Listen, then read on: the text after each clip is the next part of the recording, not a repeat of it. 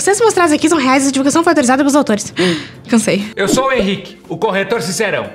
E eu voltei diferente. Mas a sinceridade é a mesma. Roda a vinheta!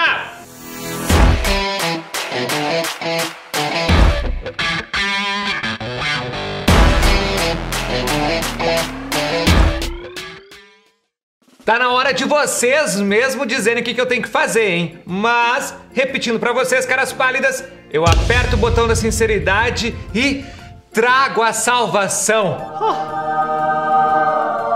Com correções sinceras. Porque a gente tem que fazer jus a esse time do Me Salva! O tema de hoje é o papel do nome social na luta contra a transfobia no Brasil. Você pode ver os textos de apoio na descrição e se você for o nosso assinante querido, mandar sua redação para nossa plataforma para ser corrigida lá. É só acessar mesalva.com. Vem redação, vem, vem redação, vem redação, vem, vem redação! Aê! É do Rafael! Oi galera do Me Salva, tudo bem? Meu nome é Rafael, eu falo de São João do Reino, interior de Minas Gerais. É, eu escolhi esse tema porque uma das minhas melhores amigas é trans e eu vejo toda a luta que ela tem para alterar os documentos dela e ter a identidade dela reconhecida. Uma coisa que parece simples e básica para boa parte de nós, mas que para ela é um direito que ela não tem acesso. É, espero ser aprovado, é, pro bem ou pro mal, espero ouvir boas críticas, ter feito uma boa redação e é isso. Muito obrigado. Bem-vindo, Rafinha! Olha só, primeira coisa, você não deixou nenhum recado pra mim, eu fiquei muito magoado com isso, hein? Mas relevando, gostei muito que você escolheu o tema a partir de algo que toca você, de uma experiência pessoal, né, de uma amizade. Isso é muito legal quando a gente se envolve emocionalmente com um tema, a gente produz um texto melhor. Então você já sai ganhando aí com a escolha desse tema. Vamos ver se você conseguiu fazer uma redação boa. Vamos lá. Vamos ao texto! Uhul! A protagonista da série Pose, Blanca, é uma mulher trans que enfrenta o desrespeito de uma família que não a chama pelo nome social. Assim como Blanca, várias pessoas no. Epa! Vou começar. Comecei aqui com o normal, né? Várias pessoas. Quem, queridinho? Né? Claro que é uma introdução, você está começando o tema, não há crime nenhum, mas já é uma oportunidade perdida da gente fechar isso em um determinado grupo social, fechar isso em um determinado número. Então, traz um dado estatístico, é legal aqui. Várias pessoas no Brasil travam uma luta contra a transfobia para ter seus nomes sociais reconhecidos. O papel do nome social. Não é porque nós temos esta palavra no tema que a gente joga ela assim à torta direito, né, Rafinha? Você já trouxe nome social aqui um, três vezes. Três vezes em quatro linhas. Então, isso já é um problema de repetição, um problema de coesão. Tenta trazer sinônimos ou tenta trazer pronomes para a gente uh, substituir né, essas expressões do tema, beleza? O papel do nome social é significativo, dado que representa o reconhecimento dessa parcela da sociedade como cidadãos dignos. A sua importância tange a aceitação das identidades transgêneras e a não normatização. Opa, vou falar duas coisas aqui, Rafinha. A primeira, cuidado com as rasuras, né? Já tem duas rasuras ali, também não é nenhum crime, mas organiza melhor para o corretor. E a segunda é normatização. Normatização tem a ver com norma, com regra. Né? A gente tem aqui na linguagem a gramática normativa, por exemplo. Não é o mesmo do que normalização que é o que você queria dizer aqui. Então, a semântica, a palavra correta é normalização e não normatização. Das violências de cunho transfóbico. Em primeira análise, deve-se salientar que o respeito ao nome social de pessoas transgêneras é basilar para a legitimação dessa classe no meio social, pois o nome é um elemento edificador na fundamentação da subjetividade do indivíduo. Ô, Rafinha, vou parar para te elogiar. Olha isso aqui, gente. Olha isso aqui. É basilar um elemento edificador da fundamentação da subjetividade do indivíduo. Gente, olha, se isso fosse uma comida, ah, ela seria cheirosa, teria um sabor muito gostoso, porque é um vocabulário elevado. Ô Rafinha, olha, ganhou o corretor aqui, ó. Parabéns pela escolha vocabular. Já vinha lá na introdução, continua aqui e isso é avaliado sim. Registro da norma culta é avaliado na competência 1. Agora eu quero ver. Agora vem, vem, repertório, vem, vem, argumentação. O nome representa o diálogo do sujeito com o mundo, visto que, para pessoas trans, sua escolha é um dos passos primordiais na concepção de uma identidade que as contemple plenamente. O filósofo Michel Foucault argumenta que a construção do sujeito se faz a partir do olhar do outro. Logo, a sociedade carece de aprender a respeitar o nome social de pessoas trans a fim de validar a existência e cidadania dessa classe. Eu vou elogiar de novo o Rafinha. Rafinha, isso que é produtividade de repertório. Gente, presta atenção nisso. O Rafinha colocou o Foucault e ele diz que o Foucault falou que a construção do sujeito se faz a partir do olhar do outro. Aí ele vai colocar uma afirmação que é dele, uma argumentação a partir do repertório do Foucault. Ou seja, essa citação, esse repertório produziu um argumento, produziu uma frase que é do Rafinha. Isso é produtividade do repertório. Meu bem, você já tem 200 na 2. Em segunda análise, é preciso alertar-se ao fato de que o desrespeito ao nome social normatiza a violência sobre corpos trans. De acordo com a Agência Nacional de Transsexuais e Travestis, o Brasil é o país que mais mata pessoas trans no mundo e a expectativa de vida é de 35 anos, menos da metade que a população em geral. O caso Dandara exemplifica isso. Mais um elogio e uma crítica, Rafinha. Olha só. É legal que você colocou uma frase muito curta, quebrando a sintaxe, tem um estilo dentro de um gênero que é bem engessado. Então, o caso da Andara exemplifica isso. Ponto, né? Dá um efeito para essa frase, isso é bom. Agora, você trouxe repertório, repertório bom lá da Agência Nacional de Transsexuais e Travestis, e na hora de argumentar, você vai entrar com um exemplo, um outro repertório. Então, cuidado, há repertório demais aqui e falta argumentação. Mesmo assassinada, não teve seu nome social respeitado na imprensa. Judith Butler diz que a mídia enquadra nosso olhar sobre quem é passível de luto ou não, normatizando certas violências. Não dá! Elogiei demais! Ô, Rafinha, elogiei demais. Esse teu dois, cadê a argumentação?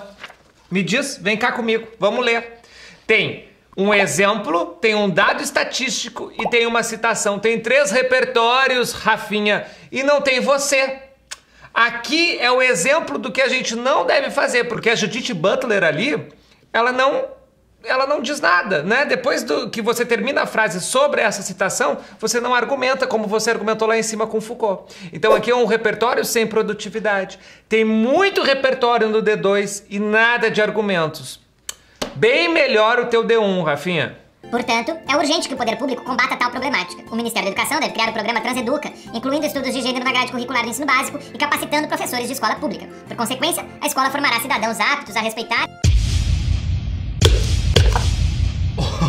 Ô Rafinha, olha só. A tua proposta, ela tá quase completa, mas cuidado, você não facilita a vida do corretor.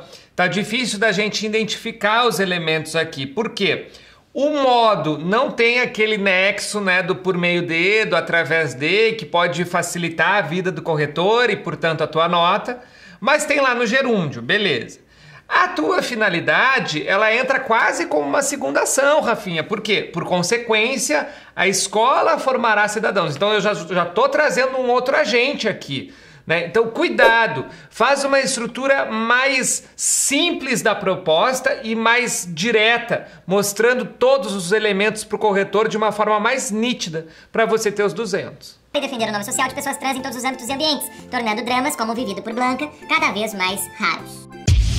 Aê, aquele fechamento bem tradicional, retomando aquele repertório lá do início, fechamento circular, né? Que dá para o corretor a noção de planejamento. Boa! Agora nós vamos para as correções gramaticais do Rafinha. E ela será feita como a gente faz na plataforma do Me Salva. Ali, na linha 4, Rafa, cuidado com as repetições da palavra temática, né? Mesmo que esteja no tema. Na linha 7, nós temos um problema de semântica, mas é de ortografia, que é a normalização, né? Mas você é, tinha o conceito errado. É, na linha 17, cuidar com esse paralelo, né? Então, se eu coloco um artigo em a existência, eu vou colocar um artigo também em a cidadania. Na linha 21, Cuidado com essa vírgula para marcar sujeitos diferentes, né? Você vai começar com um outro sujeito ali, marca uma vírgula.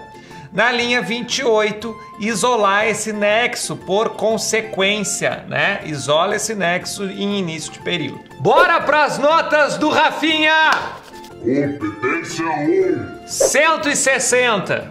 Justificativa. Rafinha, a tua gramática tá super boa, mas a gente tem mais de dois desvios, que é o nível máximo 200. Então, a gente baixa um degrau, fica 160. Competência 2. 200! Justificativa. Eu já tinha antecipado, né? Você tem um repertório produtivo lá do Foucault no D1. Então, um repertório legitimado, pertinente e produtivo já garante os 200 pontos se a gente corresponde ao tema e se a gente tem uma estrutura ok, como é o seu caso. Então, nota máxima nessa competência. Competência 3. Vamos sincerar. 200! Justificativa. Ô Rafinha, é o seguinte, você argumenta super bem quando você argumenta, né? Então nós temos desenvolvimento de informação, o teu texto está todo planejado. Só que cuidado, tá, Rafinha? O teu D2 tem muito mais repertório do que a argumentação, quando deveria ser o contrário. A gente tem que priorizar sempre o que vem da nossa cabeça e não o que vem do mundo. Competência 4. 160. Justificativa. Repetições, né? A gente tem muito transfobia, transgênero, nome social, né? Apesar dessa semântica toda ser a semântica do tema, há exageradamente no texto. E, Rafinha, você pode sim incrementar um pouco os nexos. Mas tá boa a coesão, 160. Competência 5. 160! Justificativa. Ah, pois é, né, Rafinha? Então é o seguinte: nós temos a ação, agente, modo e uma finalidade. Eu não enxergo detalhamento na tua proposta. Porque, incluindo estudos de, gê- de gênero na grade curricular e capacitando professores, são dois modos, né? É, e depois você vai já partir para a finalidade. Então, falta um espaço ah, dedicado ao detalhamento na tua proposta. Por esse motivo, 160. Nota final. 880! Quase uns 900 aqui, uns 900 mais. Tá bem, né? 880 foi a nota que eu tirei no meu primeiro Enem. Então, olha só, presta atenção. As competências de conteúdo, que são a 2 e a 3, você garantiu a nota máxima. Então, é uma questão mais de forma. Cuidar esses registros gramaticais, cuidar as repetições e melhorar essa tua proposta de intervenção, hein? Tua proposta de intervenção poderia ser 200 e você teria um 920. Então, foca em mostrar para o corretor bem quais são os cinco elementos da tua proposta de intervenção e você tem os 900 mais tranquilamente, Rafinha. Lembrando, se você, Rafinha, ou qualquer estudante aí que está nos assistindo for assinante do Me Salva, é só enviar a sua redação para a nossa plataforma e ter correções personalizadas pelo nosso time de corretores. Basta acessar mesalva.com redação sem cedilha, sem tio e assinar nossa plataforma, querido. E aí, o que, que vocês acharam desse episódio? Olha, eu gostei da correção, mas não vi o episódio pronto ainda, porque tudo depende da edição do Alex, né? Então, conta aí embaixo pra mim se ele tá fazendo tudo direitinho. Mas vamos lá, porque tem novidade vindo por aí. Então não esquece de curtir o vídeo, ativar as notificações e se inscrever no canal, porque semana que vem, você já sabe, tem episódio inédito. E lembrando, me segue lá no Instagram, arroba prof. Henrique Araújo, tem um monte de conteúdo de redação. Segue o arroba missal oficial e semana que vem a gente se encontra. Beijo! Fui! Aê! Foi mais um dado! Uhul!